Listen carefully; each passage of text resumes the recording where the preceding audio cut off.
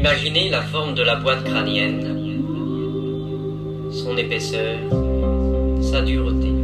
Comparez le plan mental à une scène de théâtre sur laquelle évoluent des personnages.